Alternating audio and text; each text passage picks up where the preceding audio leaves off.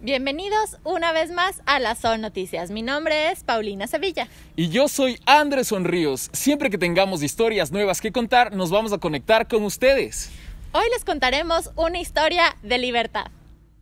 El 12 de diciembre del 2019, una de las veterinarias del zoológico recibió una llamada por parte de una moradora de Llano Grande.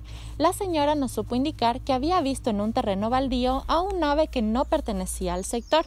Nos envió una fotografía y el equipo de veterinarios pudo constatar que se trataba de un curiquingue, un ave típica de los páramos del Ecuador. De inmediato se acudió a este lugar. El ave estaba alimentándose, pero no podía volar.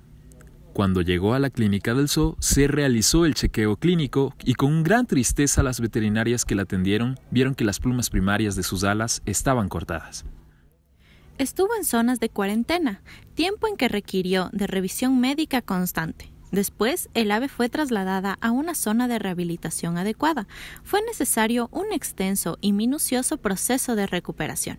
El equipo de bienestar animal hizo énfasis en aspectos como recuperación muscular, evaluación de su instinto de caza, habilidades de vuelo y búsqueda de alimento.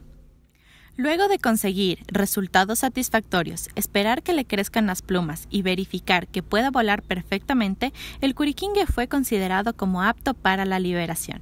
El miércoles 7 de julio, esta ave voló en el Parque Nacional Cayambe Coca, al nororiente de Quito. Las buenas noticias nos llenan el corazón pues en medio de una de las situaciones más difíciles de la humanidad, el bienestar de los animales y el poderlos ver libres en la naturaleza es lo más importante de nuestra labor.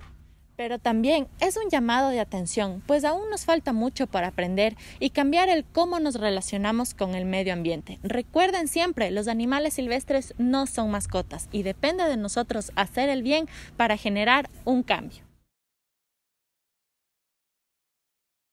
Hasta, la siguiente So Noticia. Recuerden, el So va a tu casa. Estén siempre pendientes de nuestros contenidos y noticias del So.